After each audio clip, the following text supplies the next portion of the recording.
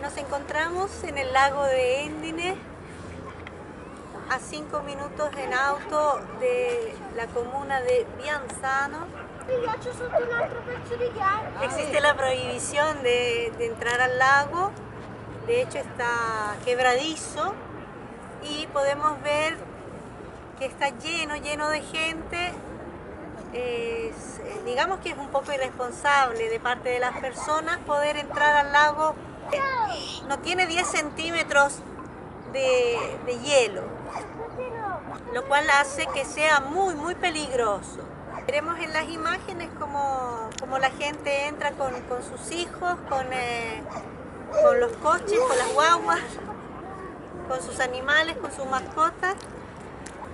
Es un llamado de atención porque si existe la prohibición eh, es por algo.